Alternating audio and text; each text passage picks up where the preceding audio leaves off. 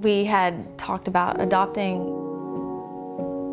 It was just always on our hearts. We just kind of felt like we had so much to offer, and there was a child out there that needed a home. And that's how we ended up adopting Kenner.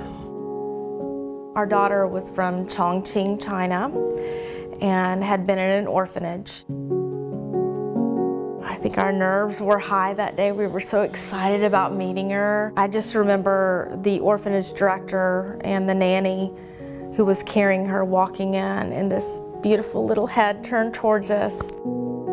And I just held her tight and told her how much I loved her.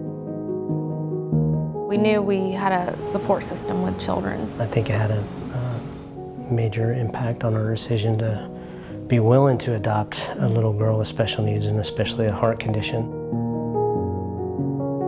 The day we got her in China, they handed over this tiny, tiny, tiny baby in my arms. And she had blue nail beds.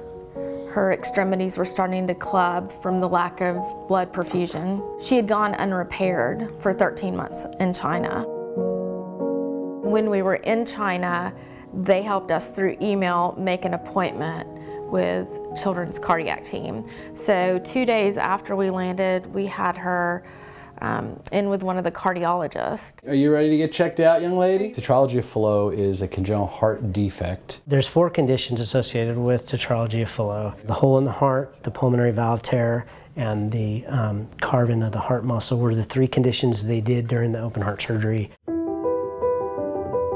My mind was with her in the OR on that table and knowing that she was on bypass and they had to stop her heart was scary. Blood was pooling in the lower lobe of her heart and it was a volume problem.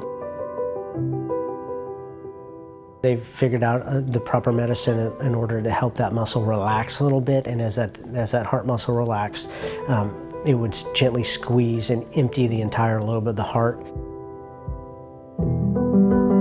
And ultimately, they figured out what it took to fix my little girl so I could bring her home. They did it. They saved her life.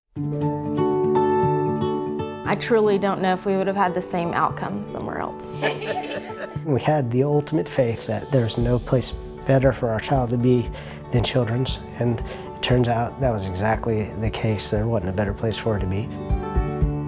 Kenner is pink as can be. Uh, her oxygen levels are completely normal now that the defect has been treated. Her cardiologist, Dr. Michael Felder, is incredible, and he's, he's, he's kind of given us permission to just enjoy life with her. Yay! It was as if she just had this new found energy. Within a month after she was home, she was walking. Come here, baby.